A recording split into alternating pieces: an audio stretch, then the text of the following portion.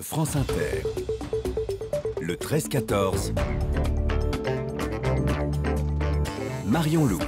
Comment ça va la santé Depuis deux ans d'épidémie de Covid, on ne sait plus quoi répondre à cette question. Si on regarde le verre à moitié vide, aujourd'hui, le taux d'incidence de la maladie en France reste l'un des plus élevés d'Europe, autour de 4 000 pour 100 000. La semaine dernière, plus de 31 000 patients Covid sont hospitalisés, chiffre en hausse. Et on a récemment dépassé les 130 000 morts du virus. Si on regarde le verre à moitié plein maintenant, le nombre de contaminations baisse légèrement depuis le milieu de semaine dernière, 338 000 en moyenne hebdomadaire. Diminution aussi en soins critiques à 3 641 patients Covid. D'ailleurs, dès mercredi, les restrictions sanitaires se desserrent. Fini les jauges dans les grands rassemblements, le masque en extérieur, fini aussi le télétravail obligatoire. Est-ce le début de la fin de la pandémie? On pose la question aujourd'hui à un membre du conseil scientifique, chef du service maladies infectieuses à l'hôpital parisien de Bichat. Bonjour Yazdan Yazdan-Pana. Bonjour. Je, le disais, Yazdan Pana, les contaminations sont en baisse, de même que le nombre de patients en, en réanimation. Est-ce qu'on a passé le pic de cette cinquième vague?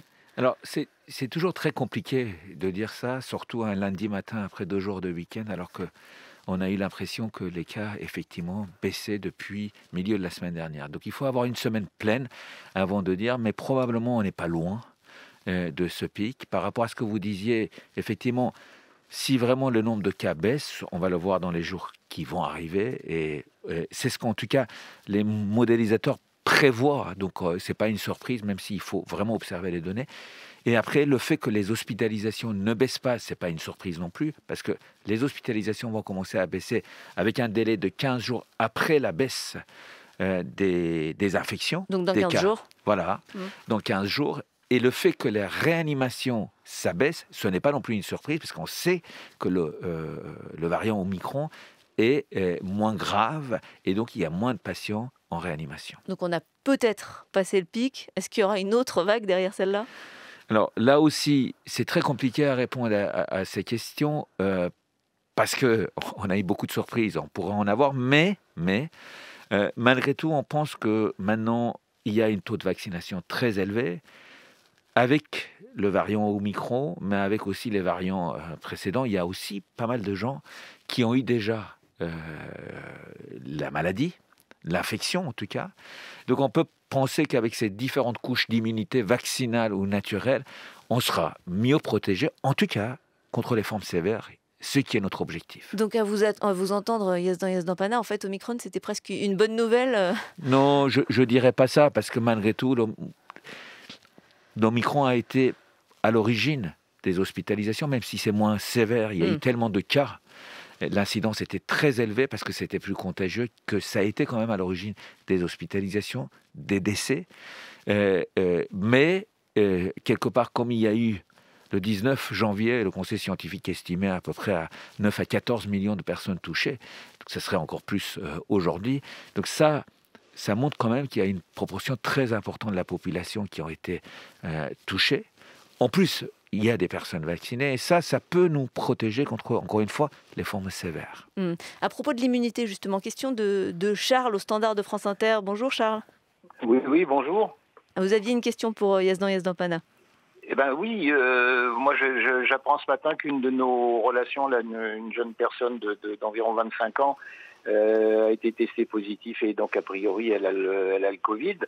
Donc euh, alors qu'elle était, euh, elle était vaccinée, donc je, ma question c'était bon à, quoi sert ce vaccin quoi? La réponse du docteur Yazdan Oui, non, mais je pense que c'est une bonne question et merci de me donner l'occasion de répondre à votre question. La vaccination protège contre l'infection dans à peu près 50% des cas, mais ça dépend à quelle distance de votre deuxième ou troisième dose vous êtes. Donc, effectivement, ça veut dire que les gens qui sont euh, vaccinés peuvent être contaminés par l'Omicron. Par contre, le vaccin vous protège contre les formes sévères. Et c'est très important. Et là, là, vraiment, le vaccin garde 90% d'efficacité. Pendant combien de temps? Alors, pour l'instant, c'est une question qu'on ne peut pas complètement répondre. En tout cas, trois mois après le vaccin, le rappel, on est de l'ordre entre 80 et 90 d'efficacité. Il y a des choses qu'on ne sait pas encore et on va apprendre. C'est pour ça que d'ailleurs le comité d'orientation vaccinale n'a pas souhaité pour le moment euh, parler de quatrième dose parce qu'on a une efficacité, mais les choses peuvent changer dans l'avenir. Donc une personne de 25 ans qui fait l'infection, malgré le vaccin, c'est pas une surprise. Ça peut arriver. Ça protège, et c'est important à moitié, mais ça peut, par contre, là où c'est très important, c'est que ça empêche une évolution vers les formes sévères, vers les hospitalisations. Et ça, c'est très important de le rappeler. Si avec la vague Omicron, on n'avait pas ces taux de vaccination, sur le plan hospitalier et en réanimation, on serait, et sur la mortalité aussi, hein, on serait vraiment dans une situation intenable. Hmm. Question d'Annick au standard de France Inter. Bonjour Annick.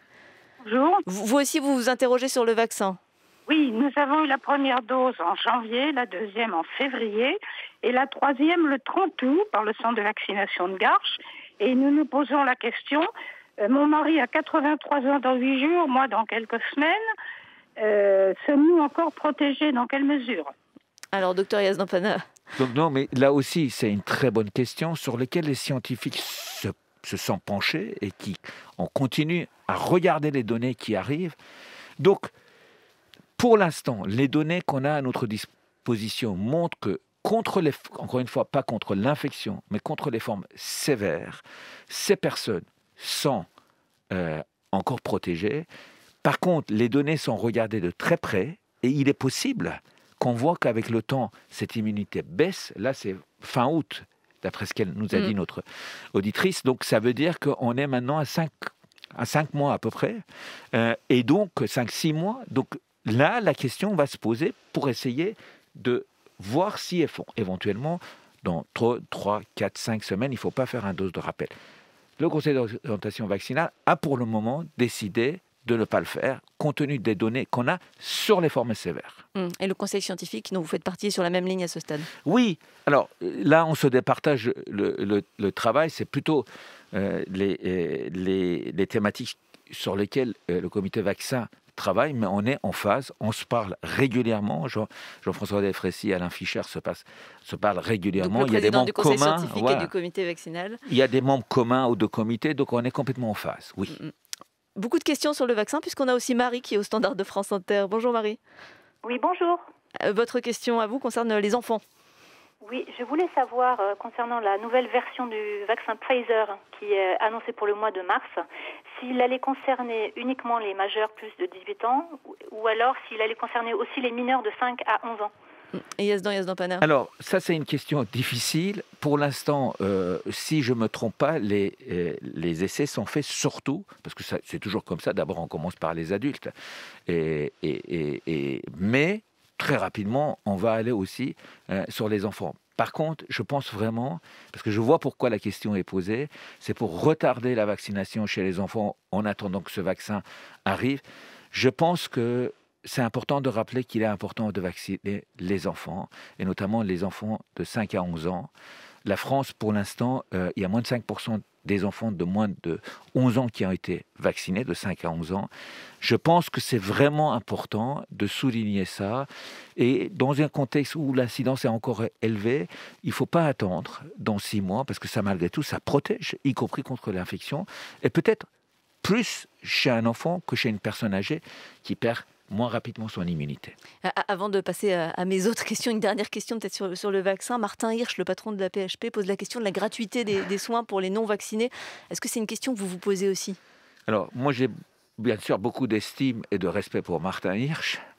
Euh, il le sait, mais sur ce point-là, euh, je, je, ne suis pas sur la même ligne. Je pense que, et en plus lui, il se pose la question. Pour l'instant, il n'a pas dit qu'il fallait faire ça, parce qu'effectivement, ça pose du coup la question d'une manière générale, hein, euh, à toutes les personnes qui fument, qui boivent d'alcool, etc., même si ce pas des maladies transmissibles. Donc je pense que ça ouvre euh, la porte à des questions très importantes. Mm.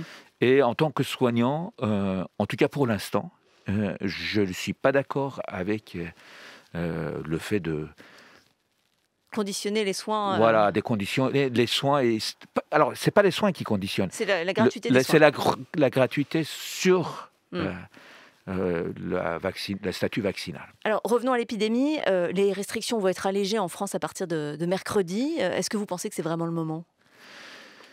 Je pense que vous avez dit, on a l'impression que ça baisse. Même si je pense qu'il faut faire attention parce qu'il y a des endroits. On sait qu'en Ile-de-France, c'est en train de baisser parce que l'Île-de-France était arrivée au départ était impacté par le Omicron beaucoup plus rapidement. Donc on est en train de voir une baisse qui doit se confirmer. Donc du coup, la France a décidé de euh, mettre en place un relâchement de mesures, mais de manière par palier. Graduelle. Hmm. De manière graduelle. Et là, on va avoir... Euh, euh, le fait que les jauges vont être enlevées, le fait que le télétravail ne va plus être obligatoire, ça ne veut pas dire qu'on ne va pas le faire.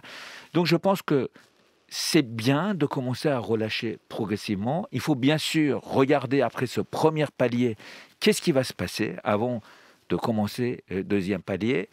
En plus, ce premier palier, c'est des choses assez raisonnables. Il y a aussi le fait qu'on a le passe vaccinal, on enlève les jauges, mais il y a le passe vaccinal, donc ça peut même avoir un impact. Donc je pense que c'est assez raisonnable parce qu'il faut penser aussi que la population a besoin euh, qu'on montre qu'il y a une lumière qui, s'allume, qu'on va aller vers le printemps, les beaux jours, et que peut-être, j'espère, les choses vont aller mieux. Alors, dans son dernier bulletin, Santé publique France alerte quand même sur la progression du virus chez les personnes âgées, euh, plus 30%, 30 en une semaine chez les plus de 80 ans. Qu'est-ce qu'on fait Comment on l'explique Et surtout, comment on la prévient Alors là aussi, euh, je pense que de manière globale, oui, mais quand on regarde région par région, ce n'est pas forcément euh, le cas. D'autre part, on sait que l'épidémie, en général, commence par les jeunes. Et donc, les jeunes arrivent un peu au pic avant les personnes âgées. Donc, je pense que chez les personnes âgées, ben, si ils sont vaccinés, s'ils ont reçu trois doses de vaccin, ce qui semble être le cas maintenant chez plus de 80% des cas, ce qui est bien, donc ils sont quand même protégés contre les formes graves, et ça c'est très important à souligner. Hmm. Est-ce qu'on s'inquiète de ce nouveau variant euh, BA2 qui est un dérivé d'Omicron? Alors, les données qu'on a sur BA2, euh, pour l'instant, c'est principalement le, Danemark. C'est là où ça, pour des raisons qu'on ignore d'ailleurs, hein, hein, où il est devenu majoritaire. Alors, ce qu'on sait actuellement, c'est que probablement c'est plus contagieux, mais c'est pas plus sévère. Euh, l'impact sur le vaccin euh, n'est pas différent de BA1. Donc pour l'instant, les données qu'on a sont assez rassurantes. Ça ne doit pas complètement changer les donnes. Mais il faut attendre d'autres éléments, notamment des Danois où euh, le virus, ce variant-là, circule le plus. Mais je dirais, pour l'instant, le comité scientifique et les virologues, de ce qu'on a, ne sont pas très inquiets. Mais encore une fois, il faut attendre d'autres données. Un peu d'espoir, donc Yazdan Yazdan Pana, infectiologue et membre du conseil scientifique. Merci d'être venu nous répondre sur France Inter. Merci à vous.